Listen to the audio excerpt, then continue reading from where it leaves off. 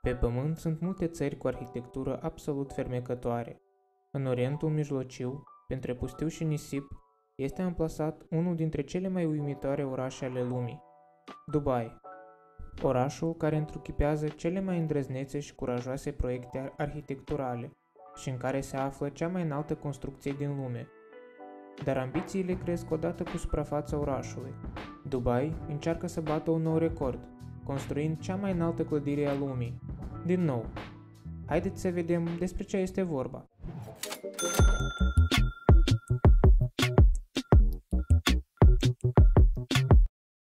Este greu de crezut că doar cu 50 de ani în urmă, Dubai era un teritoriu necunoscut, cu o populație mică de pescari. Astăzi, Dubai a devenit simbolul progresului tehnologic. În ciuda faptului că este situat în condiții climaterice nefavorabile, a depășit multe megapolisuri și capitale ale altor țări. Nicăieri în lume nu vedem atât lux și confort cum vedem în Dubai, unde este amplasată cea mai înaltă clădire din lume, Burj Khalifa, un monument de 828 de metri al avuției Emiratelor Arabe. Dar în curând, o nouă construcție ar putea depăși recordul.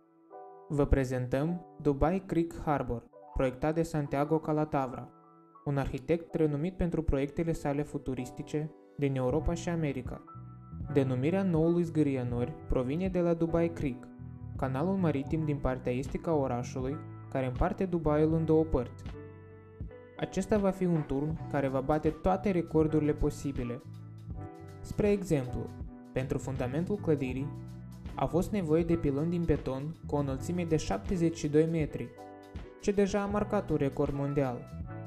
Tot pentru fundament au fost folosite peste 45.000 metri cub de beton. Costul acestui proiect a depășit cifra colosală de 1 miliard de dolari.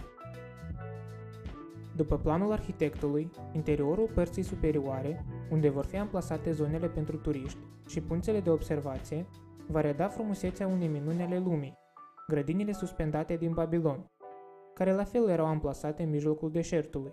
Grandiosul proiect preconizează ca în partea superioară a clădirii să fie amplasate 20 de etaje, care includ hoteluri, mall restaurante și alte obiective turistice. Teritoriul adiacent acestui zgârie nori, aproximativ 6 km pătrați, va fi amenajat cu plajă de 4,5 km lungime, yacht club, centre comerciale, blocuri locative și 22 de hoteluri. Centrul comercial care va fi incorporat în structura noului zgârie nori va depăși semnificativ Dubai Mall, cel mai mare centru de agrement din lume la momentul actual. Iar acum să discutăm despre partea cea mai importantă, înălțimea. La început, inginerii au anunțat cifra nemaipomenită de 1300 metri, însă după o perioadă de timp, înălțimea inițială a fost redusă la 928, iar informația despre înălțimea concretă a clădirii este ascunsă.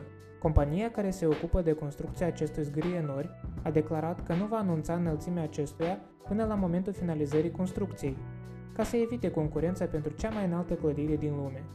Inginerii asigură că fabulosul Dubai Creek va fi finalizat în anul 2020. Credeți-ne pe cuvânt, acest grienor va putea uimi orice om pe planetă. Însă acest turn fabulos nu poate fi încadrat în categoria de zgrienori și poate pretinde doar la titlul cea mai mare construcție făcută vreodată de om. Explicația e simplă. Pentru a se considera zgrienori, clădirea trebuie să satisfacă două criterii importante. Clădirea trebuie să se susțină singură datorită fundamentului. În cazul turnului Dubai Creek, stabilitatea acestuia va fi asigurată de cablurile de oțel fixate de pământ. 50% din suprafața clădirii trebuie să fie locuibilă, însă arhitectura turnului va fi orientată spre estetică și atracție turistică.